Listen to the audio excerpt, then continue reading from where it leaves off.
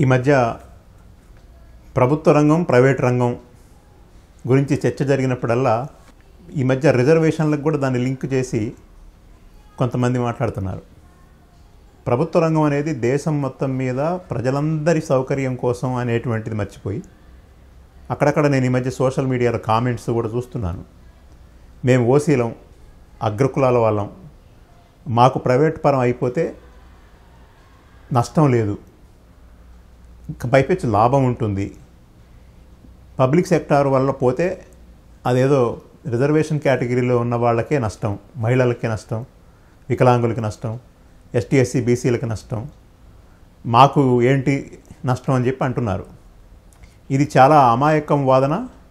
అదే సందర్భంగా ఇంటెన్షనల్గా కొంతమంది బీజేపీకి సంబంధించినటువంటి ఐటీ సెల్ వాళ్ళు చేసేటువంటి వాదనలు కూడా కొన్ని ఉన్నాయి. దీనికి నేను ఉదాహరణ చెప్తాను. రాబోయే కాలంలో విద్యుత్ ఛార్జీలు అనేక రెట్లు పెరగబోతున్నాయి. దానికి కారణం ఏంటన్నప్పుడు చూసినప్పుడు బొగ్గు బొగ్గు కొరత. బొగ్గు కొరత ఎందుకు వచ్చింది అనేది ఈ మధ్య చాలామంది చాలా వినుంటారు. ఇవాళ కోల్ ఇండియా బొగ్గు ఉత్పత్తి చేస్తుంది అది ప్రభుత్వ రంగ సంస్థ. సింగరేణి బొగ్గు ఉత్పత్తి చేస్తుంది అది ప్రభుత్వ రంగ సంస్థ. అంతర్జాతీయ మార్కెట్లో రెండు వేల ఇరవైలో టన్ను బొగ్గు ధర యాభై డాలర్లు ఉంది ఇవాళ రెండు వేల ఇరవై ఒకటిలో ఈ సంవత్సర కాలంలోనే రెండు వందల డాలర్లకు పెరిగింది. అంటే నాలుగు వందల శాతం పెరిగింది. మరి యాభై డాలర్లు రెండు వందల డాలర్లకు పెరిగిన తర్వాత బొగ్గు మీద ఆధారపడి విద్యుత్తును ఉత్పత్తి చేసేటప్పుడు ఆ విద్యుత్తు ఎన్ని రెట్లు పెరిగే అవకాశం ఉంటుంది?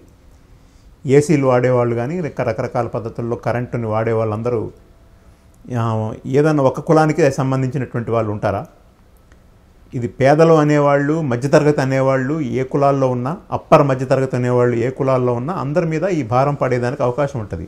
బాగా డబ్బున్నోడు ఏ కులంలో ఉన్నా వాళ్ళకి ఇది పెద్ద భారంగా అనిపించకపోవచ్చు. కాబట్టి కోల్ ఇండియా కానీ సింగరేణి కానీ థర్మల్ పవర్ ప్రాజెక్టులకి బొగ్గు ఇస్తున్నది. బొగ్గుతో ఆధారపడే ప్రా బొగ్గుతో బొగ్గు మీద ఆధారపడి విద్యుత్తు తయారు చేసే ప్లాంట్లను ఏమంటామంటే థర్మల్ ప్రాజెక్టులు అంటాం. ఉదాహరణకి స్టేట్ గవర్నమెంట్లో చూసుకుంటే తెలంగాణ రాష్ట్రంలో కేటీపీఎస్ ఉంది కొత్తగూడెం థర్మల్ పవర్ స్టేషన్. అది పాల్వంచలో ఉంది. సెంట్రల్ గవర్నమెంట్ ఆధ్వర్యంలో తెలంగాణ రాష్ట్రంలో ఏది ఉందని ఒకసారి చూసుకుంటే రామగుండంలో ఎన్టీపీసీ ఉంది national thermal power corporation.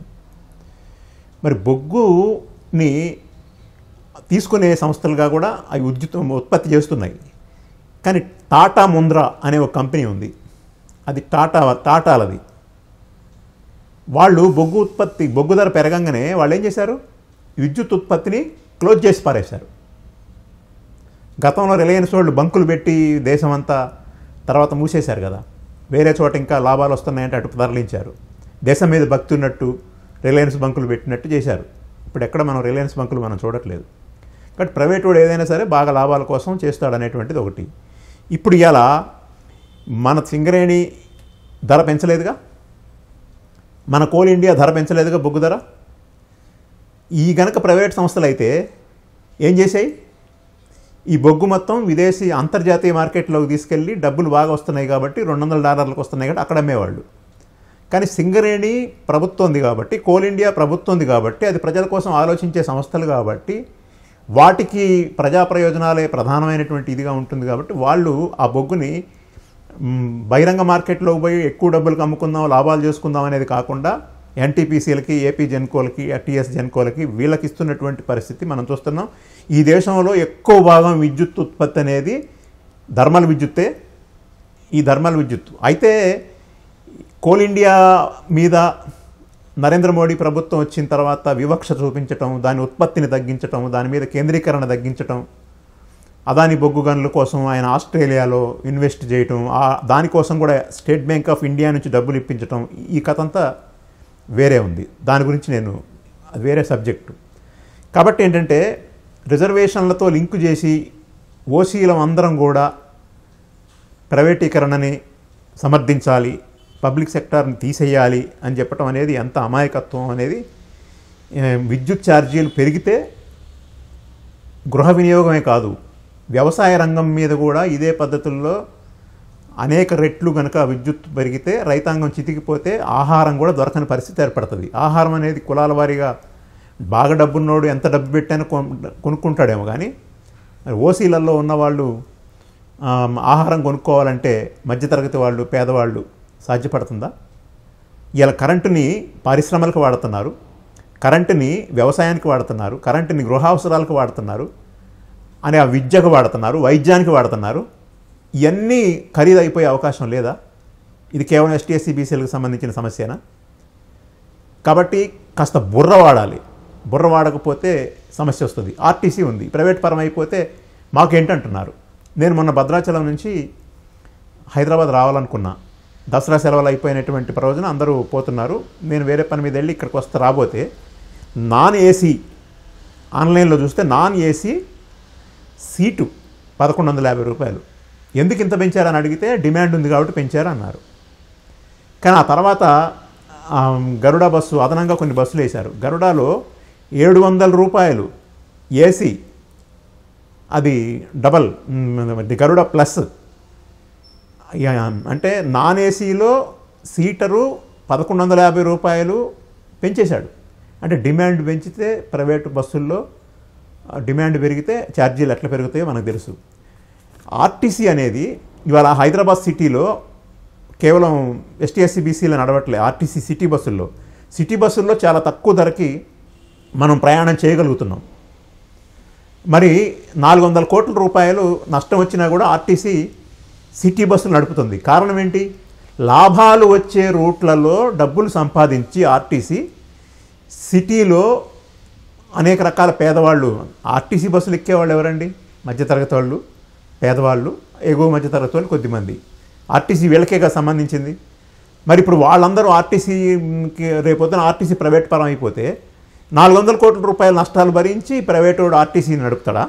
Hyderabad city metropolitan నగరంలో ఇక్కడ ఈ నగరం న- నడపలేడు. అంటే నడపరు నడపలేడు అనేది కాదు. ఎందుకంటే వాళ్ళకి లాభాలు వచ్చే చోట డబ్బులు గుంజుకుంటారు. నడపచ్చు.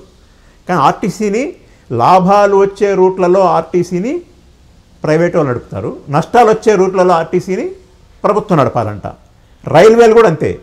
రైల్వేలు కూడా లాభాలు వచ్చే అన్ని ఎక్స్ప్రెస్లు ప్రైవేట్ వాళ్ళు తీసేసుకుంటున్నారు. మరి ఇవాళ మామూలు రూట్లలో తిరిగేటువంటి ప్యాసింజర్ ట్రైన్స్ కానీ ఇంకా మామూలు రూట్లలో తిరిగేటువంటి అన్ని అవన్నీ కూడా ప్రభుత్వ రంగంలో ఉంచుతారు. అంటే నష్టాల జాతీయకరణ లాభాల ప్రైవేటీకరణ. కాబట్టి దీనివల్ల నష్టపోయేది ఎవరు? రైత రైల్వే రైల్వే ఛార్జీలు విపరీతంగా పెరిగితే దీంట్లో ఓసీ ఎస్టీ ఎస్సీ అనే తేడా ఏమైనా ఉంటుందా? కాబట్టి ఎక్కడైనా చదువు చెప్పడం కోసం టీచర్లను పెడతారు తప్ప టీచర్లకు ఉద్యోగాలు చేయడం కోసం ఉద్యోగాలు ఇవ్వడం కోసం చదువు చదువు చెప్పరు. అదేవిధంగా డాక్టర్లు నర్సులు వైద్య వ్యవస్థ దీన్ని నిర్మించే దేనికంటే వైద్యం ప్రజలకు చేయడం కోసం. అంతేగాని ప్రజా వాళ్ళకు ఉద్యోగాలు ఇవ్వటం కోసం వైద్య వ్యవస్థ నిర్మించరు.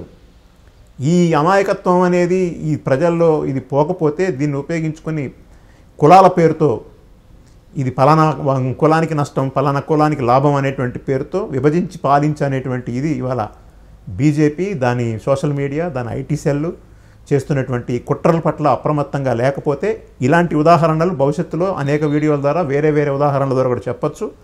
కానీ సింపుల్గా అర్థం కావడం కోసం ఇప్పుడున్నటువంటి లైవ్లీ ఎగ్జాంపుల్తో చేస్తున్నాం. కాబట్టి ప్రైవేటీకరణ అనేది ప్రజలందరికీ నష్టం పేద ప్రజలకి మధ్యతరగతి ప్రజలందరికీ నష్టం.